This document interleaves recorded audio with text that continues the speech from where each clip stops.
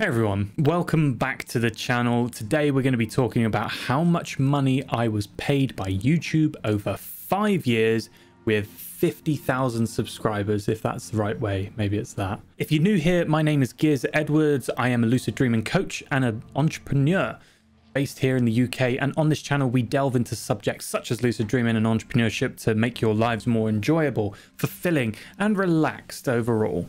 So today we're going to be breaking down how much money I made on YouTube over the last five years. So let's talk about that. There is this trend of people talking about how much money they've made on YouTube over the course of one year. And the people that normally talk about how much money they've made are entrepreneurs, business types, those who talk about finance quite regularly.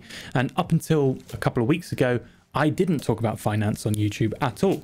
So most of the money that I've made in my entire career is not based off financial content or entrepreneurial content. The reason that is important is because when you talk about finance, the advertisements you get have a higher payment on average because it's about a different subject. I talked about lucid dreaming. Do you know how much money that brings in? Not a lot. So when you find a video about somebody who is talking about their finances, often it's way more than you think, or it's way more than I think. I'm like, how did you make half a million in one year? What's this? I've scraped together a sandwich and then you're here with your own business class trips to. You, you, get my point. So I'm here to dispel the myths of how much people make on YouTube um, because I'm the exception to the rule. You think people make a lot of money on YouTube? I'm here to prove you wrong. That's where I come in. So, as an entrepreneur, I think it's very important to understand how much profit you can make off a project or something. So, if you're thinking about doing YouTube as a side gig or a full time thing, it's good to have your expectations set as to how much you can realistically make.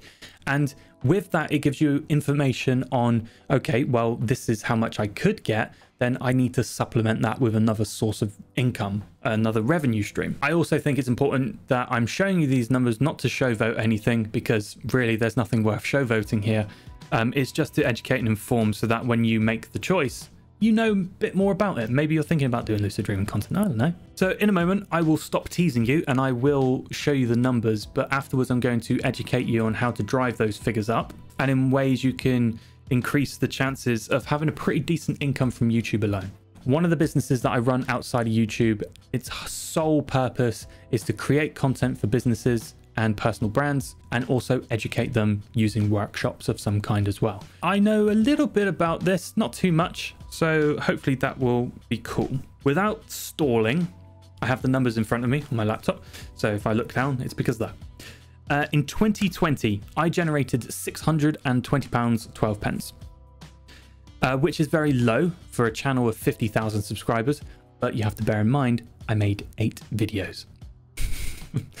and you may think, okay, £620 divided by eight is 77, 77 pounds. That's how much you made per video. No, no, it doesn't work like that. It's uh, cumulative effects from a backlog of content. Uh, let's go back in time. 2019, I generated £648.42 from that was from 10 videos. So again, you could say £64 per video. Not true, compounded effect. Go back another year, which is a good year for Giz. Um, 2018, I generated £1,089.96 pence. I think I had 45,000 subscribers at the end of this year. This was the last year in which I made a lot of content which was 71 videos. Um, in 2017, I generated 573 pounds 46 pence with 62 videos. I think this was the adpocalypse era, this in the year be before, um, which really impacted. And in 2016, I generated 511 pounds 81 pence. Uh, I had 35,000 subscribers at the start of that year, and I made 48 videos. So over the last five years, bearing in mind I've been making content since 2007, I've made 3,443 pounds 77 pence. I made 199 videos, which equates to, drum roll please, £1.90 a day. if you worked minimum wage in the UK two hours a week Over the course of five years, which is the same period of time that I was working on YouTube, you would have made £1,000 more money than I did in that time period. So that gives you an indication of how you need to diversify your income. There were things that I did um, which supplemented this income. For example, I had a part time job which paid my bills. That helps a lot. But also, I had other streams of revenue. I did affiliate link marketing, I had a Patreon page, I did coaching, I had sources of revenue that weren't just YouTube, which is very important. So how do we improve those numbers? Well, some of the things that I'm going to be telling you here are some things that I'm going to be implementing in this year, 2021. I've already nearly made more videos this year than I did the entire year before. So I'm off to a good start. So the three values to improve revenue on YouTube is consistency, it's frequency, and it's value. If you nail those three, you are you're laughing, mate. You're absolutely laughing. So consistency. As you can see by the numbers of the videos that I made over the course of the five years, they were drastically different every year. I made 48 videos, 62 videos, 71 videos, 10 videos, and then 8. What? so that was 199 videos. I'm just going to say 200 for ease. So I, if I would have taken those 200 and instead of doing them sporadically in big bursts of energy over the course of five years, if I'd have released them equally over the course of five years, then I would have released one video every week and a half. Uh, that would have been a lot better. Instead of leaving long gaps between uploads, my consistency would always keep me in the mind of the consumer and I would always be consistently feeding that algorithm so people can watch my content. Consistency usually means that more eyeballs are on your content and usually eyeballs equals money. Just make sure you're always in the mind of the consumer. So the second thing was frequency. Um, instead of releasing one video every one and a half weeks, I could have released two videos every one and a half weeks. So instead of 200 videos, it would have been 400 videos, or one per week every week, two per week every week. If I would have done that, how much traction do you think I would have gotten? I would always be in the mind of the consumer. I had more content for people to consume, and I would always be feeding that algorithm frequently and consistently.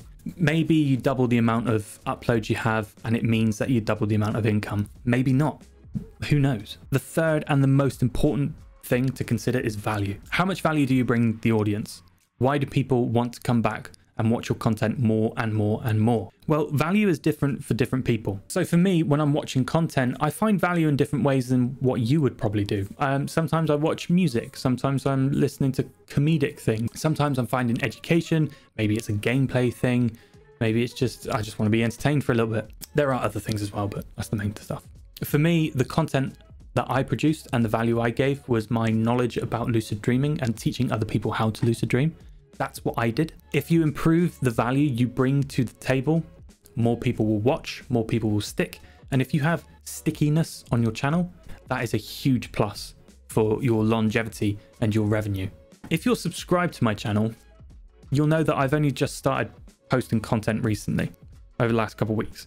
And if you are subscribed, then you'll know that I'm posting two to three videos every week, unless massive circumstances change. Two you lucid dreaming videos and one video similar to this kind of thing. I'm curious to see if my three recommendations really do adjust the value proposition and increase my revenue. I have a hunch to say it will. I'm eager to see if I can match or get close to my five year total over the course of this single year.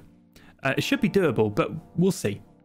So if you're curious about whether or not I will succeed to that, then click subscribe. If you are interested in why I'm called Giz Edwards, if you're new here, then I've got a video somewhere teaching you why my name is Giz. And for everyone else who is subscribed, I will see you on Friday. Bye.